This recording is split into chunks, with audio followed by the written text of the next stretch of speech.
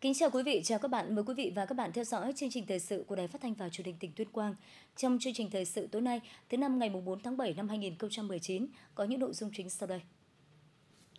Chính phủ tổ chức hội nghị trực tuyến với 63 tỉnh thành phố đánh giá tình hình kinh tế xã hội sau nửa chặng đường của năm bứt phá 2019 và thảo luận các biện pháp trong thời gian tới. Chủ động các phương án đảm bảo an toàn trong mùa mưa bão, chuẩn bị tốt các điều kiện khôi phục chăn nuôi sau dịch tả lợn châu Phi. Trong phần tin quốc tế, Nhật Bản bắt đầu chiến dịch vận động tranh cử Thượng viện năm 2019. Tổng thống Mỹ Donald Trump chỉ trích Trung Quốc và châu Âu thao túng tiền tệ. Hôm nay ngày 4 tháng 7, dưới sự chủ trì của Thủ tướng Nguyễn Xuân Phúc, Chính phủ tổ chức hội nghị trực tuyến với 63 tỉnh, thành phố, đánh giá tình hình kinh tế xã hội 6 tháng đầu năm, thảo luận các biện pháp thực hiện nhiệm vụ 6 tháng cuối năm 2019. Tại điểm cầu tỉnh Tuyên Quang có các đồng chí Chẩu Văn Lâm, Ủy viên Ban chấp hành Trung ương Đảng, Bí thư tỉnh ủy, trưởng đoàn đại biểu Quốc hội tỉnh Tuyên Quang, Phạm Minh Huấn, Phó Bí thư tỉnh ủy, Chủ tịch Ủy ban nhân dân tỉnh, Nguyễn Văn Sơn, Ủy viên Ban Thường vụ tỉnh ủy, Chủ tịch Hội đồng nhân dân tỉnh. Đánh giá tình hình kinh tế xã hội 6 tháng đầu năm, báo cáo của Bộ Kế hoạch và Đầu tư và các ý kiến thảo luận tại hội nghị khẳng định, qua 6 tháng triển khai nghị quyết số 01 của Chính phủ và 3 tháng triển khai chỉ thị số 09 của Thủ tướng Chính phủ, các bộ ngành địa phương đã chủ động tích cực thực hiện các giải pháp đề ra, các nhiệm vụ có thời hạn hoàn thành trong quý 2, cơ bản đáp ứng đúng tiến độ. Trong đó đã hoàn thành 60% nhiệm vụ được giao tại nghị quyết 01, 67% nhiệm vụ được giao tại chỉ thị số 09. Kinh tế vĩ mô ổn định, lạm phát được kiểm soát tốt, tăng trưởng GDP, thu ngân sách, đầu tư thương mại, xuất nhập khẩu, phát triển doanh nghiệp đều đạt khá. Cụ thể, tăng trưởng GDP 6 tháng đầu năm ước đạt 6,76%, tuy thấp hơn mức tăng của 6 tháng đầu năm 2018, nhưng cao hơn mức tăng của 6 tháng các năm từ năm 2011 đến năm 2017. Trong bối cảnh 70% các nền kinh tế trên thế giới, trong đó hầu hết các nền kinh tế phát triển, đều rơi vào tình trạng tăng trưởng chậm lại. Đáng chú ý, ngành nông nghiệp gặp khó khăn do dịch tả lợn châu Phi lây lan trên diện rộng nên chỉ tăng 1,3%, thấp hơn nhiều so với mức tăng 3,07% của 6 tháng năm 2018. Điểm sáng của khu vực này là ngành thủy sản tăng trưởng khá ở mức 6,45% do nhu cầu thị trường tiêu thụ tăng cao và là mức tăng trưởng cao nhất của 6 tháng đầu năm trong 9 năm trở lại đây. Giải ngân vốn FDI 6 tháng đầu năm có kết quả tốt, ước đạt 9,1 tỷ đô la Mỹ, tăng gần 8% so với cùng kỳ. Tổng mức bán lẻ hàng hóa và doanh thu dịch vụ tiêu dùng, lượng khách quốc tế đến nước ta đều tăng. 6 tháng đầu năm 2019, cả nước có gần 67.000 doanh nghiệp được thành lập mới, tăng 3,8% về số doanh nghiệp và tăng 32,5% về số vốn đăng ký. Có trên 21.600 doanh nghiệp quay trở lại hoạt động, tăng 31,4% so với cùng kỳ năm 2018. Hội nghị đã dành nhiều thời gian nghe ý kiến của các địa phương để có hướng xử lý hiệu quả đối với từng vấn đề cụ thể theo tinh thần phân cấp, tăng cường hơn nữa trách nhiệm của bộ ngành địa phương. Các ý kiến thảo luận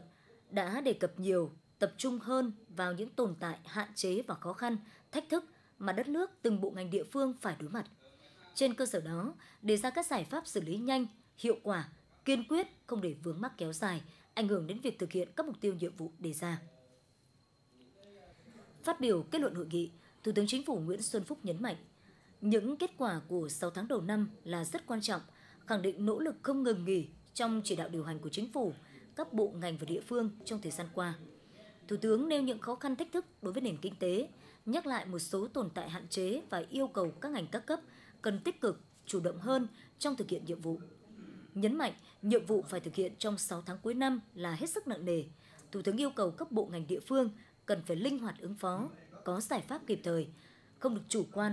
phải xác định rõ những nhiệm vụ, những giải pháp trọng tâm đối với từng bộ ngành địa phương trên tinh thần phân cấp mạnh mẽ hơn, đề cao hơn nữa trách nhiệm người đứng đầu, chủ động linh hoạt hơn trong chỉ đạo điều hành, huy động sự vào cuộc của cả hệ thống chính trị, cộng đồng doanh nghiệp và toàn dân. Trước mắt cần tập trung phát huy các dư địa của động lực hỗ trợ tăng trưởng trong từng ngành, lĩnh vực địa phương, từng dự án lớn trọng điểm, đẩy mạnh xuất khẩu hàng hóa, xúc tiến thương mại, thu hút các nhà đầu tư vào Việt Nam, kết hợp hiệu quả kinh tế tư nhân với đầu tư nước ngoài, tiếp tục cải thiện mạnh mẽ hơn môi trường đầu tư kinh doanh ở tất cả các ngành địa phương, tạo điều kiện cho doanh nghiệp phát triển, nhất là doanh nghiệp nhỏ và vừa, tập trung ngăn chặn dịch tả lợn châu Phi, chủ động các phương án phòng chống thiên tai. Sáng nay tại huyện Na Hang, Ban Thường vụ tỉnh ủy Tuyên Quang đã tổ chức hội nghị công bố quyết định về công tác cán bộ. Dự hội nghị có đồng chí Trần Ngọc Thực, Ủy viên Ban Thường vụ tỉnh ủy, Phó Chủ tịch Ủy ban nhân dân tỉnh, Lê Tiến Thắng, Ủy viên Ban Thường vụ tỉnh ủy, trưởng ban tổ chức tỉnh ủy. Tại hội nghị, đồng chí Lê Tiến Thắng, Ủy viên Ban Thường vụ tỉnh ủy, trưởng Ban Tổ chức tỉnh ủy đã công bố quyết định của Ban Thường vụ tỉnh ủy. Đồng chí Hoàng Anh Cương, Phó Bí thư huyện ủy, Chủ tịch Ủy ban nhân dân huyện Na Hang giữ chức vụ Bí thư huyện ủy Na Hang, nhiệm kỳ 2015-2020.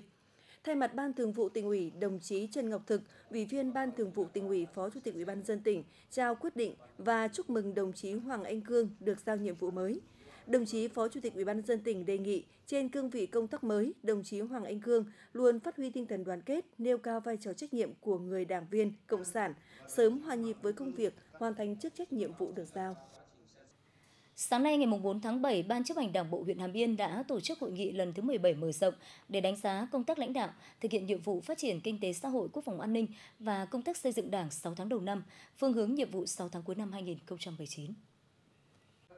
Trong 6 tháng đầu năm 2019, Đảng bộ huyện Hàm Yên đã tập trung lãnh đạo, chỉ đạo, triển khai các nhiệm vụ, đạt kết quả quan trọng trong công tác xây dựng Đảng, hệ thống chính trị, phát triển kinh tế xã hội, an ninh quốc phòng. Tổng sản lượng lúa ước đạt trên 18.900 tấn. Trồng và chăm sóc các cây trồng chủ lực trong phát triển kinh tế như trên 7.000 ha cam, 2.100 ha chè, trồng trên 470 ha mía và trồng mới trên 1.900 ha rừng. Bên cạnh đó, công tác phòng chống dịch cho đàn gia súc, đặc biệt là dịch tả lợn châu Phi được quan tâm chú trọng. Cơ sở hạ tầng tiếp tục được đầu tư xây dựng. Giá trị sản xuất công nghiệp, tiểu thủ công nghiệp đạt trên 555 tỷ đồng, đạt 55% kế hoạch.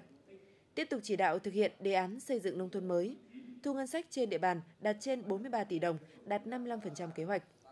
Hệ thống chính trị từ huyện đến cơ sở ổn định. Công tác xây dựng đảng, chính quyền, mặt trận tổ quốc và các đoàn thể được quan tâm, quốc phòng an ninh trên địa bàn được giữ vững. 6 tháng cuối năm 2019, Ban chấp hành Đảng bộ huyện Hàm Yên tập trung lãnh đạo các nhiệm vụ trọng tâm như thực hiện hiệu quả nghị quyết Đại hội Đảng các cấp, thu hút các nguồn lực đầu tư, xây dựng kết cấu hạ tầng, phát triển hệ thống giao thông và hoàn thành các công trình trọng điểm. Tiếp tục đẩy mạnh phát triển du lịch dịch vụ, tập trung nâng cao chất lượng giáo dục và đào tạo, phát triển nguồn nhân lực, nâng cao chất lượng khám chữa bệnh cho nhân dân. Thưa quý vị và các bạn, ngày 4 tháng 7 năm 2019, Sở Nông nghiệp và Phát triển Nông thôn, Cơ quan Thường trực Phòng chống thiên tai tỉnh có công văn về việc cảnh báo mưa to gây lũ quét, sạt lở đất do ảnh hưởng hoàn lưu cơn bão số 2. Đề nghị Bộ Chỉ huy quân sự tỉnh, Sở Giao thông Vận tải, Ủy ban Nhân dân các huyện, thành phố, Đài Phát thanh và Truyền hình tỉnh. Theo chức năng nhiệm vụ tổ chức thực hiện các nội dung sau – theo dõi chặt chẽ các bản tin dự báo cảnh báo thời tiết nguy hiểm, kịp thời thông báo đến người dân đang sinh sống tại các khu vực có nguy cơ xảy ra thiên tai để người dân biết và chủ động các biện pháp phòng tránh phù hợp. Chuẩn bị sẵn sàng triển khai phương án phòng chống thiên tai đã xây dựng kiểm tra cảnh báo các hộ gia đình ở ven sông suối, nơi vách núi ta luy cao, nơi thảm phủ thực vật thưa thớt, nơi rừng sản xuất mới được khai thác, biết thông tin để chủ động các biện pháp ứng phó, đề phòng mưa lớn gây ra lũ quét, lũ ống, trượt, lở đất tổ chức kiểm tra hồ đập công trình thủy lợi trên địa bàn, bố trí lực lượng thường trực tại các công trình sung yếu, phát hiện xử lý ngay các sự cố sẵn sàng triển khai phương án đảm bảo an toàn cho công trình, khu vực hạ du công trình. Bố trí sẵn sàng lực lượng, phương tiện để kịp thời xử lý các tình huống đảm bảo giao thông thông suốt, kiểm soát người, phương tiện qua lại tại các khu vực đường tràn, ngầm, đường bị ngập, khu vực bến đò, không để người dân đi lại khi có mưa lũ xảy ra thông báo đến các đơn vị chủ đầu tư đang tổ chức thi công xây dựng công trình trên địa bàn, thực hiện các biện pháp an toàn, đảm bảo công trình không bị hư hỏng, đổ vỡ, gây thiệt hại công trình do mưa bão gây ra. Đối với các khu vực trũng hay xảy ra ngập úng, đề nghị Ủy ban nhân dân các huyện thành phố sẵn sàng chuẩn bị phương án tiêu úng, thoát nước, đặc biệt các khu đã gieo cấy đảm bảo tiêu thoát úng nhanh để hạn chế diện tích cây trồng bị ngập úng gây chết. Ủy ban nhân dân huyện Na Hang thực hiện phương án đảm bảo an toàn người và tài sản tại các khu vực nguy hiểm, khuổi phầy, thôn Nà Khuyến, xã Yên Hoa, khu vực sạt lở sụt lún đất, thôn Nà Đứa, xã Đà Vị và điểm sạt lở sung yếu có người dân sinh sống khác. Tổ chức trực ban theo quy định tại quyết định số 1436 ngày 12 tháng 10 năm 2016 của Ủy ban nhân dân tỉnh về việc ban hành quy chế về công tác trực phòng chống thiên tai và tìm kiếm cứu nạn trên địa bàn tỉnh Tuyên Quang. Khi có thiên tai gây thiệt hại trên địa bàn quản lý, Ủy ban nhân dân huyện thành phố chủ động các biện pháp khắc phục hậu quả nhằm nhanh chóng hỗ trợ người dân ổn định cuộc sống và sản xuất sau thiên tai, đồng thời thực hiện nghiêm túc công tác tổng hợp báo cáo theo quy định. Sở Nông nghiệp và Phát triển Nông thôn đề nghị các đơn vị khẩn trương triển khai thực hiện. Hết công văn. Đối với các hộ dân sinh sống sản xuất kinh doanh dọc theo tuyến sông, việc chủ động phương án đảm bảo an toàn trong mùa mưa bão là vấn đề được người dân đặc biệt coi trọng, ghi nhanh của phóng viên thời sự vào sáng nay. Chủ động đối phó với hoàn lưu cơn bão số 2, anh Hùng hiểu rõ nhất việc gia cố hệ thống dây néo, cầu phao có ý nghĩa đặc biệt quan trọng. Từ khi có đập thủy điện ở Thượng Lưu, hơn chục năm nay sông Lô không còn gây lụt cho thành phố. Song mùa mưa bão, nước sông lên xuống thất thường vẫn luôn là nỗi lo thường trực của những hộ dân nơi đây. Hàng năm thì mùa mưa lũ về là tháng 6, tháng 7 âm lịch. Thì là chúng tôi cũng ờ, chuẩn bị trước tinh thần từ tháng 5 đến ờ, đầu tháng 6 thì chúng tôi đã neo cọc và chẳng néo dây đầu dây đuôi và kiểm tra các dây ờ, sau vài năm thì nó cũng có hạn sử dụng đó thì là chúng tôi cũng ờ, thay những cái dây hỏng đi và mua dây mới về để trang bè. Bước vào mùa mưa bão, công tác tuyên truyền nâng cao ý thức trách nhiệm của người dân được các cấp chính quyền tập trung đẩy mạnh, đặc biệt là các hoạt động sản xuất kinh doanh trên sông. Thực hiện phương châm 4 tại chỗ, lực lượng tại chỗ, chỉ huy tại chỗ, phương tiện tại chỗ và hậu cần tại chỗ. Chính quyền các xã, phường có các tuyến sông chảy qua chuẩn bị các phương án sẵn sàng ứng phó với thiên tai có thể xảy ra. Việc huy động vật tư, phương tiện tại chỗ được người dân phối hợp với chính quyền và các ngành chức năng chấp hành nghiêm túc. Gia đình tôi là có cái phương tiện vận tải khách ờ, qua sông. Mà mùa mưa lũ thì ờ, theo yêu cầu của chính quyền địa phương, có nhu cầu thì gia đình tôi cũng ờ, tận tình phục vụ cho bà con mọi lúc mọi lời chống cái thiên tai giúp đỡ bà con đỡ thiệt hại. Đối với các hộ nuôi cá lồng trên sông, bè cá là cả tài sản của gia đình. Việc gia cố hệ thống bè, thường xuyên theo dõi diễn biến thời tiết, mực nước là điều đặc biệt lưu tâm đối với người nuôi cá. Cụ thể thì ờ, trước mùa mưa bão thì chúng tôi cũng ờ, gia cố lại ờ, lồng bè rồi là dây neo để cho nó chắc chắn, để cho nó vượt qua mùa lũ. Cùng với sự vào cuộc của các cấp chính quyền chủ động các phương án phòng chống lụt bão, đối với người dân cần chủ động nắm bắt thông tin nhằm đảm bảo an toàn cho người và tài sản của gia đình. Là một trong ba xã của huyện Chiêm Hóa không phát sinh ổ dịch tả lợn châu Phi mới sau 30 ngày kể từ khi có dịch, hiện nay các hộ chăn nuôi trên địa bàn xã Yên Nguyên đang chuẩn bị tốt các điều kiện khôi phục chăn nuôi sau dịch. Ghi nhận của phóng viên thời sự là hộ có 18 con lợn với tổng trọng lượng gần 1 tấn phải tiêu hủy do mắc dịch tả lợn châu Phi. Những ngày này, bên cạnh việc tiếp tục tiến hành tiêu độc khử trùng, vệ sinh chuồng trại, gia đình ông Hoàng Văn Lệ ở thôn Bảo Ninh đang chuẩn bị cho việc tái đàn lợn nuôi và sớm mong muốn nhận được hỗ trợ của nhà nước cho việc tiêu hủy đàn lợn mắc dịch của gia đình. Sau cái đợt này xã mình ấy là không còn cái ổ dịch nào nữa mà nó đã qua 30 ngày rồi. Thì là cái nguyện vọng của tôi là muốn cởi mở để chúng tôi giao thương để tiêu thụ cái sản phẩm của chúng tôi chăn nuôi ra. Mặc dù số lượng lợn phải tiêu hủy vì mắc dịch tả lợn châu Phi trên địa bàn xã Yên Nguyên không nhiều, nhưng cũng đã ảnh hưởng lớn tới chăn nuôi và tiêu thụ sản phẩm thịt lợn của các hộ chăn nuôi. Theo thống kê, hiện nay toàn xã có 3.100 con lợn, trong đó lợn thịt có thể xuất chuồng là trên 2.500 con. Yên Nguyên đã trải qua 35 ngày không phát sinh thêm ổ dịch mới. Hiện nay, được công bố hết dịch là mong muốn của nhiều hộ chăn nuôi trên địa bàn xã nhằm tháo gỡ khó khăn trong tiêu thụ lợn thịt của địa phương. Sau khi tiêu hủy xong thì gia đình chúng tôi rất là mong muốn là chờ khi nào công bố hết dịch và gia đình chúng tôi muốn tái lại đàn để à, chăn nuôi thì được như cũ. Gia đình cũng có nguyện vọng, chờ được có nguồn hỗ trợ của nhà nước về, chúng tôi sẽ là tiếp tục tái đàn à, để chăn nuôi. Tính đến hôm nay là qua 36 ngày à, trên địa bàn xã không phát sinh thêm ổ dịch mới. thì hiện nay chúng tôi đang tập trung là vận động nhân dân là tiêu độc khử trùng vệ sinh chuồng trại rác vôi bột là chuẩn bị à, tái đàn để làm sao khôi phục cái à, sản xuất à, chăn nuôi trên địa bàn. Hiện nay xã Yên Nguyên đang tiếp tục tuyên truyền vận động nhân dân không chủ quan trong công tác phòng dịch, đồng thời phối hợp với các ngành chức năng của huyện quản lý tốt công tác vận chuyển lợn qua địa bàn để hạn chế lây lan dịch bệnh và bảo vệ tốt đàn lợn của xã. Những nội dung đáng chú ý sẽ có trong phần tiếp theo của chương trình. Trình chính phủ hai phương án điều chỉnh giá dịch vụ BOT chương trình phân loại rác tại nguồn vẫn gặp nhiều lúng túng từ phía người dân lẫn các đơn vị xử lý rác. Cùng với nhiều địa phương trong cả nước, sáng nay Ban chỉ đạo vận động hiến máu tình nguyện tỉnh Tuyên Quang đã tổ chức khởi động hành trình đỏ năm 2019 tại tỉnh Tuyên Quang. Ngay sau lễ dân hương tại đền thờ Chủ tịch Hồ Chí Minh, khởi động hành trình đỏ tỉnh Tuyên Quang, đoàn đã tổ chức diễu hành qua các tuyến phố, tuyên truyền về mục đích ý nghĩa chương trình hành trình đỏ. Cùng với hoạt động chủ đạo là vận động hiến máu tình nguyện, hành trình đỏ còn tuyên truyền, nâng cao nhận thức của người dân về tầm quan trọng của hiến máu cứu người. Tôi thấy là cái cái, cái chương trình hiến máu nhân đạo này rất là tốt mà tôi cũng muốn cộng đồng là mỗi người chung tay để bảo vệ sức khỏe cũng như là cái lòng hảo tâm và cái cái cứu người. Qua 5 năm tổ chức tại tỉnh Tuyên Quang, Hành trình đỏ thực sự là chiến dịch truyền thông lớn về hiến máu tình nguyện.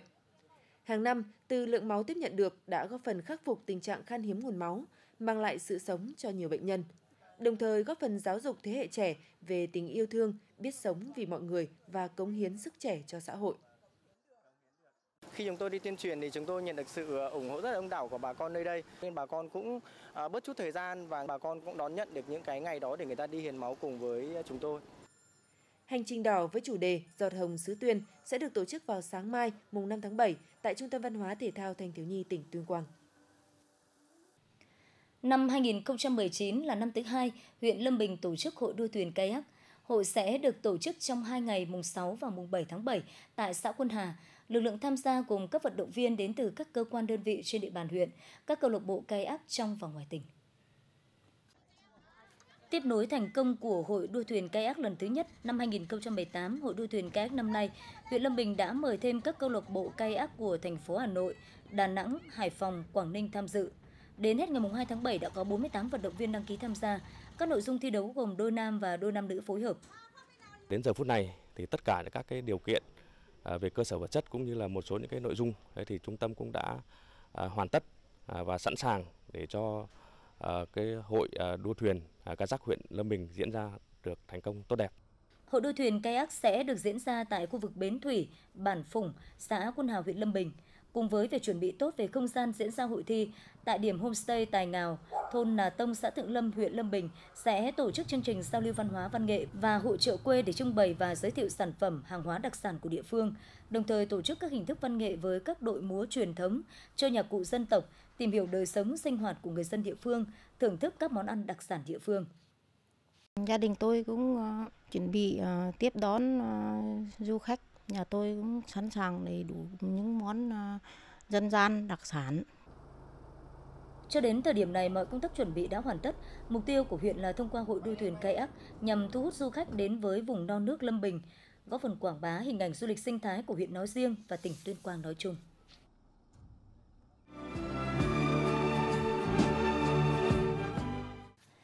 Xác định công tác xuất khẩu lao động là hướng giải quyết việc làm và giảm nghèo bền vững, những năm qua tỉnh Tuyên Quang đã đẩy mạnh công tác xuất khẩu lao động sang các thị trường lao động tiềm năng như Nhật Bản, Hàn Quốc, Đài Loan, qua đó đã mang lại thu nhập cao và ổn định cho người lao động.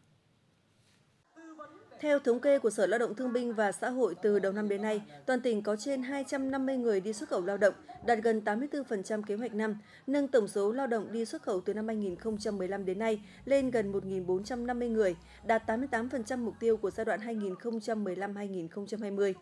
Những thị trường xuất khẩu lao động chủ yếu là Nhật Bản, Hàn Quốc, Đài Loan và một số nước châu Âu. Thì chúng tôi xác định là gì? Cái việc ờ, đi lao động ở các khu công nghiệp trong và ngoài tỉnh cũng như xuất khẩu lao động là một cái giải pháp rất quan trọng để đảm bảo cho uh, các hộ dân của huyện Lâm Bình uh, thoát nghèo bền vững. Để đẩy mạnh công tác xuất khẩu lao động, tỉnh đã tạo điều kiện cho các doanh nghiệp có uy tín trong lĩnh vực xuất khẩu lao động, tư vấn tuyển dụng lao động. Sở Lao động Thương binh và Xã hội đã cấp phép tuyển dụng cho 14 doanh nghiệp trong lĩnh vực xuất khẩu lao động.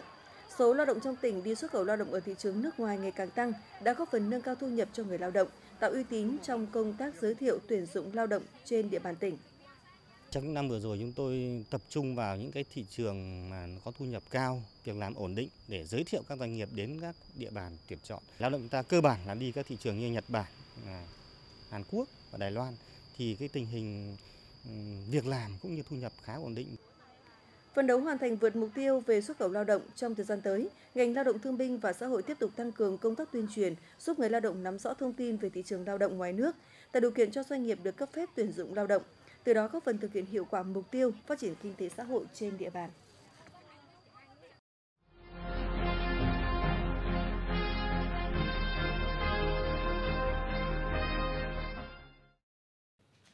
Theo Bộ Giao thông Vận tải, hiện trong số 49 dự án BOT đường bộ đang khai thác, có 26 dự án doanh thu sụt giảm. Bộ đang tính phân nhóm các dự án này, trong đó có 10 trạm sụt giảm lớn sẽ nghiên cứu tính toán phương án điều chỉnh.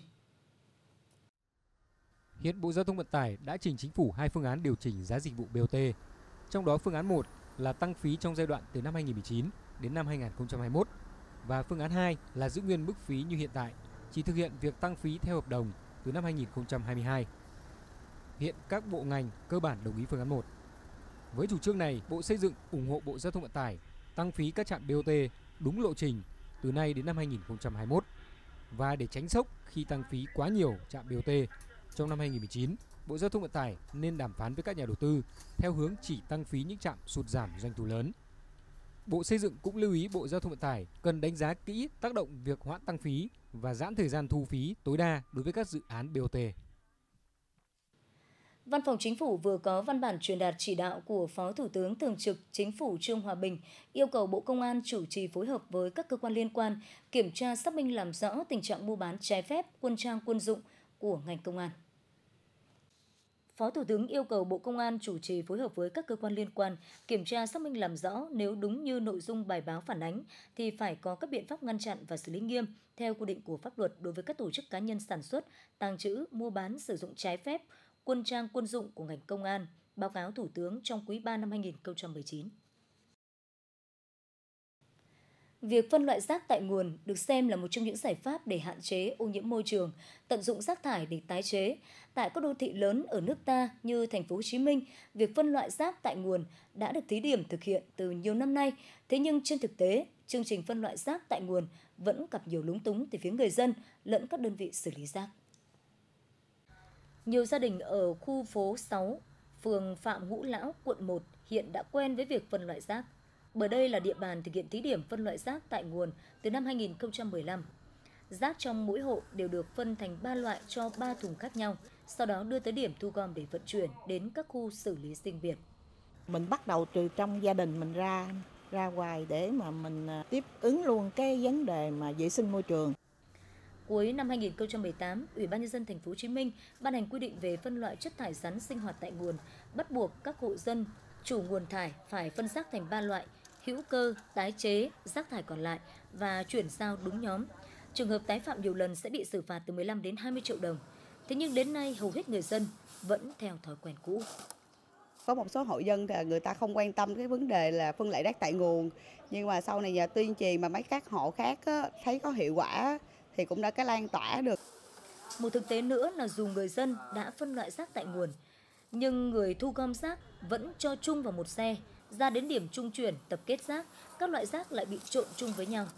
Những khó khăn từ phương tiện thu gom rác chưa được chuẩn hóa và đồng bộ hóa, bãi rác không có hệ thống xử lý từng nguồn rác riêng lẻ, khiến việc phân loại rác bị tắc ở những khâu cuối cùng. Thiệt ra khi mà mình phân loại ra mình ghi mình để những cái bịch ni lông hay là những cái chai lọ mà bề nhựa đó thì mình để một bên còn những cái rác thường ấy mình để một bên. Thì tới hồi mình gom ra trước đi cái xe rác nó gom chung vô dân đưa lên xe rác à, người ta lại ghép lại chung thì coi như là một cái, một cái hành động không có hiệu quả như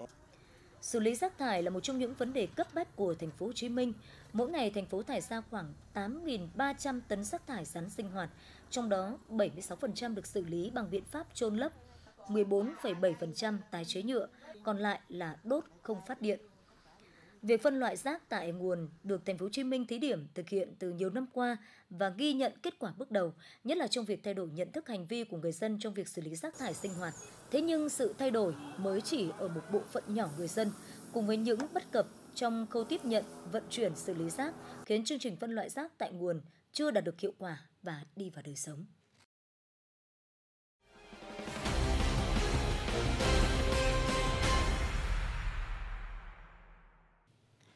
Các ứng cử viên cho cuộc bầu cử Thượng viện Nhật Bản ngày hôm nay đã chính thức khởi động các chiến dịch tranh cử Thượng viện với việc bỏ phiếu được ấn định vào ngày 21 tháng 7. Chiến dịch tranh cử sẽ kéo dài 2 tuần. Thượng viện Nhật Bản hiện gồm 242 thành viên, nhưng khoảng một nửa sẽ hết nhiệm kỳ vào ngày 28 tháng 7. Cuộc bầu cử này sẽ bầu ra 121 nghị sĩ thay thế. Trong số này, 73 nghị sĩ sẽ được lựa chọn từ 47 khu vực bầu cử theo phương thức phổ thông đầu phiếu. 48 nghị sĩ sẽ được bầu theo phương thức đại diện tỷ lệ. Liên minh cầm quyền do Đảng Dân Chủ Tự do LDP của Thủ tướng Nhật Bản Shinzo Abe đang giữ hơn 2 phần 3 số ghế ở Hạ viện, nhưng chưa đủ 2 phần 3 số ghế ở Thượng viện để bảo đảm thông qua các quyết định quan trọng tại Quốc hội. Đảng LDP hy vọng Liên minh cầm quyền sẽ giành tối thiểu 2 phần 3 số ghế tại Thượng viện ở cuộc bầu cử lần này. Từ đó có thể thông qua các quyết định quan trọng, bao gồm cả việc sửa đổi hiến pháp để Thủ tướng Shinzo Abe có thể tại vị sau khi kết thúc nhiệm kỳ. Tổng thống Mỹ Donald Trump ngày 3 tháng 7 cáo buộc Trung Quốc và châu Âu cố tình làm suy yếu đồng nội tệ và kích thích nền kinh tế của những nước này nhằm đạt được lợi thế cạnh tranh với Mỹ. Trên trang mạng Twitter, Tổng thống Mỹ Donald Trump cho rằng Trung Quốc và châu Âu đang thao túng tiền tệ và bơm tiền vào hệ thống tài chính của mình nhằm cạnh tranh với Mỹ, đồng thời bóng gió rằng Ngân hàng Dự trữ Liên bang Mỹ Fed cũng cần nới lỏng chính sách tiền tệ như vậy. Ông Trump nhấn mạnh Mỹ cần phải phản ứng tương xứng hoặc tiếp tục làm bù nhìn chứng kiến các nước khác tiếp tục thao túng tiền tệ từ nhiều năm nay. Tổng thống Donald Trump từng nhiều lần kêu gọi Fed cắt giảm lãi suất để tăng tính cạnh tranh của Mỹ với các nước mà ông cho là đang thao túng tiền tệ. Cơ quan giám sát tiêu dùng Australia đã kiện đơn vị Samsung với cáo buộc đánh lừa người tiêu dùng khi quảng cáo điện thoại thông minh Galaxy có tính năng chống xước sử dụng được trong bể bơi và lướt sóng.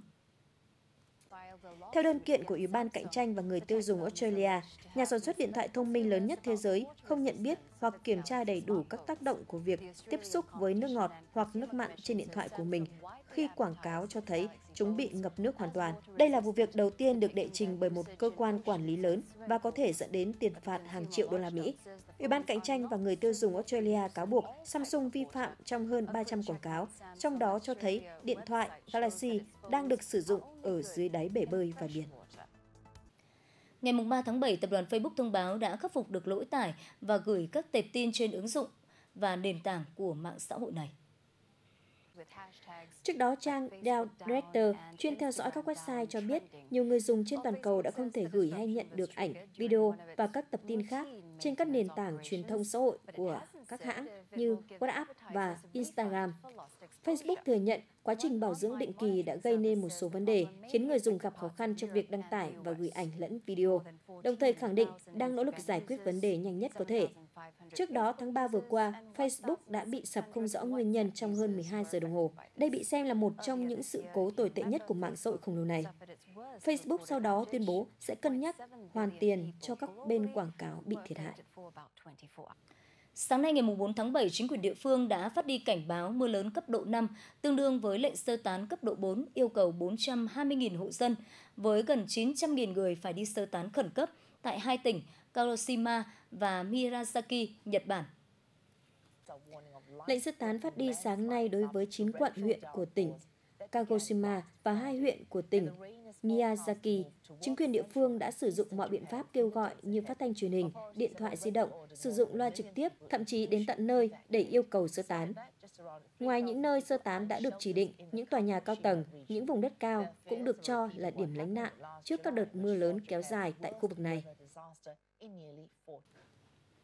Những thông tin vừa rồi đã kết thúc chương trình thời sự của Đài Phát thanh và Truyền hình tỉnh Tuyên Quang. Ngay sau đây sẽ là thông tin dự báo thời tiết cho đêm nay và ngày mai. Xin cảm ơn sự quan tâm theo dõi của quý vị và các bạn. Xin kính chào tạm biệt và hẹn gặp lại.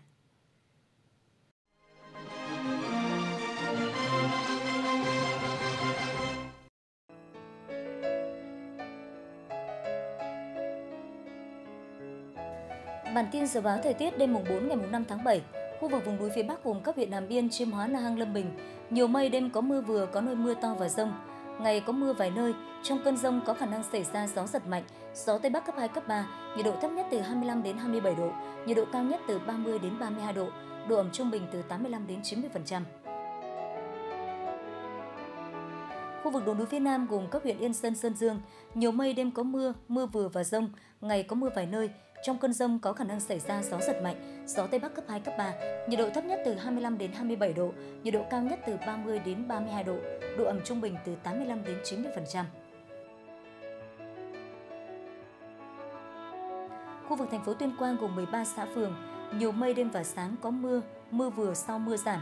gió Đông Bắc cấp 2, cấp 3, nhiệt độ thấp nhất từ 25 đến 27 độ, nhiệt độ cao nhất từ 30 đến 32 độ, độ ẩm trung bình từ 85 đến 90%.